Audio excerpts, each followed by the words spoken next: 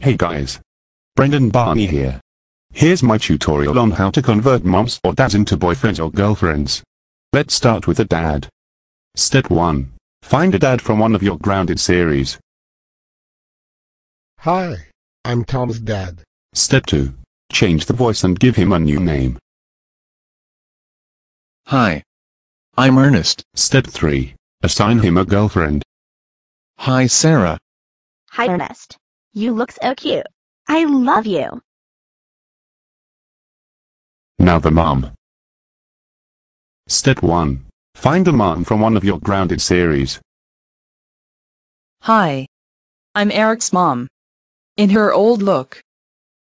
Step 2. Change the voice and give her a new name. Hi, I'm Tracy. Step 3. Assign her a boyfriend. Hi Tracy. Hi Xavier. You look so cute. I love you. So that's my tutorial on how to convert moms or dads into boyfriends or girlfriends. See ya later.